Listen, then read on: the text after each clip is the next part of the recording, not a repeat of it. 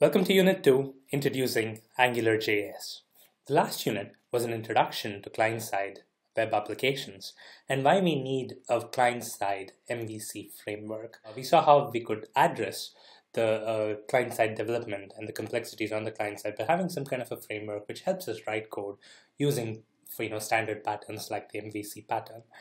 In this unit, we're going to start looking at AngularJS. So here's where we're going to actually kick things off with Angular we can look at how Angular solves the problem of client-side MVC. Turns out Angular is really good for doing client-side MVC. It provides you the pattern in which you can write the model view and the controller separately so that you can manage your code better and uh, write more complex applications on the client side.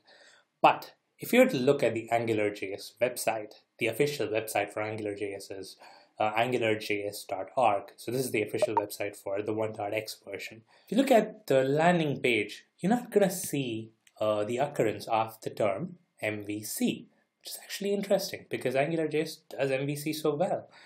Uh, what you're actually going to see is something like this. It's probably going to read HTML enhanced for web apps. That's what it reads today as I'm recording this video. It might be different, but it's very likely going to be the same because this is kind of like the fundamental uh, core philosophy of Angular. Uh, now, why is this? Why does Angular not call itself an MVC framework? Why does it call itself HTML enhanced? Now, if you read some of the description on the website, I have actually taken a small snippet of this description and I've put it over here. So this is what it says. It says HTML is great for declaring static documents, but it falters when we try to use it for declaring dynamic views in web applications. You remember we talked about how HTML was static, and uh, that's what they mention over here. AngularJS lets you extend HTML vocabulary for your application. The resulting environment is extraordinarily expressive, readable, and quick to develop. Let's ignore the last statement, which is kind of marketing speak, but let's look at the first sentence in the, in the second paragraph. AngularJS lets you extend HTML vocabulary. Do you see it? It's almost as if the creators of Angular seems to hate HTML and they're trying to fix it. They're saying HTML is great for static documents, but it's not great for dynamic documents. So AngularJS lets you extend HTML so you can actually build dynamic documents and applications with it right?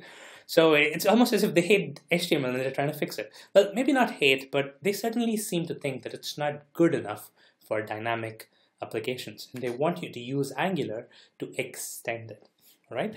So this is the key philosophy for extending HTML. This is the key philosophy of Angular.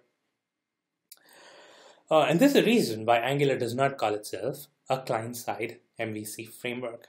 This is actually, uh, it turns out to be a key distinction to make as an AngularJS developer. AngularJS is not a different way or a better way to write your standard JavaScript or jQuery code. It's a whole new way to think about writing client-side apps. So let me demonstrate what this different way of thinking is. Let's take a concrete example. Let's say you want to show uh, a date, right? The current date in an HTML document. So you're building HTML. You want to show what the current date so that when somebody loads the HTML page, they see the date at which they loaded the page, right? It's a simple, a simple requirement. So let's take something like this. You create a div with an ID called date, all right? And uh, you want to show the current date there so that when the page loads, the date gets displayed. This is clearly JavaScript because HTML, like I said, is static. It cannot change what the content is based on when you load the page. So this is you know a classic example of the content changing depending on the time at which you load the page. So this clearly has to be JavaScript, which executes on the client-side browser, gets the current date, and adds it to the HTML so that you see it, right? So here is the standard JavaScript or the jQuery way. This is how you would write JavaScript code if you were to show the date in the HTML. The first thing you do is you find the element where you need to show the date, right? If you need to get that element in the DOM, here it's a div with an ID date. So you need to say, okay, hey DOM or hey browser, give me the div which has an ID called date. And you're gonna get that div object, right? It's the object in the document object model tree. You're gonna get that object. Then what you do, you write code to get the current date. right? JavaScript has a way to get the date. There's a date, uh, there's a date object. So you can get the date object, get that date, convert it to some kind of a string, and then now that you have the div with the ID date, you're going to append that string to that div, right? You're going to insert that string into the div.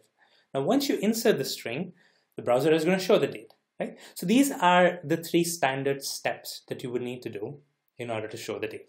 Every time you need to show the date, these are the three steps. First, get the element, get the date, put the date into the element, right? Does that make does that make sense? So these are the three steps, and this is the standard JavaScript or the jQuery way of doing things. But think about this. Wouldn't it be nice if we didn't have to do this? This is a, a contrived example, of course, but there are a lot of use cases where you have to sprinkle some JavaScript to get what we want out of HTML. Most of the times you need this for something that's dynamic, right? Because again, static is uh, all that HTML can do. If you need dynamic, you need JavaScript and you have to do something like this. But what if we had something like this? A current date element. I know that HTML doesn't have it, but imagine if HTML did have it. Or maybe something like this. There's a div and a current date attribute. Now, all you need to do when you have to show the date is just add that element or add that attribute and HTML would insert the date automatically. Wouldn't it be cool if you did that? Wouldn't it be cool if there was a feature in HTML which did exactly that? Well, turns out there isn't a feature. But wouldn't it be cool if you could extend HTML and create this element? This is what extending HTML means, and this is what Angular lets you do. Angular lets you create these custom elements in the HTML and you can use functionality, you can write code to bind to those custom elements so that every time you use that custom element, you're going to get that functionality. That code that you write bound to the element is going to get executed and you have JavaScript running on the client side, right? This is a very important distinction to make. This is different from the JavaScript or the jQuery way of doing things that I showed you before. Here's the JavaScript or the jQuery way of doing things. First thing you do is find an element, right? Find the element that you need to modify. Get it from the DOM. Second, you run some custom logic, which you need for the data. Then third, you update the element right? You take that custom logic, whatever is the output that it generated, and then you add that to the element that you found in step one. This is the standard classic JavaScript or the jQuery way. And this is where it's different with Angular. With Angular, you need to do three steps, but it's a little bit different. So here's what you need to do. First, you need to create a custom element type, right? You're not finding the element, you're creating or you're declaring a custom element type, right? You create your own type you extend HTML by having your own custom type. And then you define a logic that goes with that element, right? You declare it and you define it. In the case of a date, you declare an element called date and you define the logic that is coupled with that element. And now that you have this custom element, you use the element wherever you want, right? So that's the third step. The good thing about this approach is now that you've defined an element type, you can use it in multiple places easily the logic and the element are kind of bound together.